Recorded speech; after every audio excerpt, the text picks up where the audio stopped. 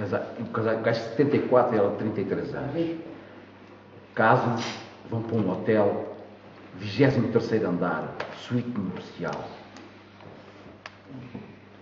Toda a noite, porreiro, não sei o quê. Outro dia de manhã, não havia luz, os avariados. O provecto, velhinho, 74 anos, escadaria abaixo. Chega, sala do pequeno almoço, ovos com presunto, ganda, passado 15 minutos, a provecta noiva vinha descer as escadas, assim, toda agarrada Diz o empregado- da recepção, menina, que passa? Então, um velhinho aí, todo de 74 anos, chegou cá embaixo tudo fresquinho, e você veio aí toda empenada.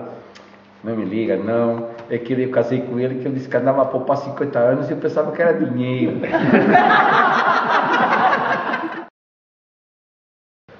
Cumprimenta-se, desejam boa lua de mel um ao outro e pá, e sobem cada um para o seu quarto.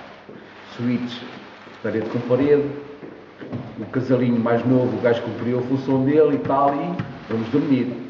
No quarto ao lado, foi toda a noite camas a ranger e águas a correr na casa de banho.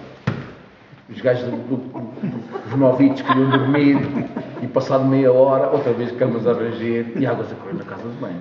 E a gaja assim, filha, este, cabrão com 27 anos está aqui e quer dormir e o filho da mãe do velho com 74 anos já vai na terceira, na quarta, no quarto. E cada merda foi toda a noite. O gajo chegou outro dia, disse, para aí, eu, eu tenho que saber o que é que se passa, que é para dar o tratamento a este gajo.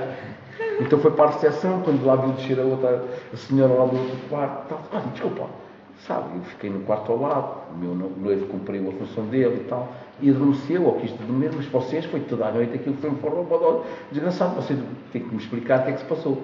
A minha filha, não foi nada disso. Ele, para dar a primeira, cagou-se 44 vezes.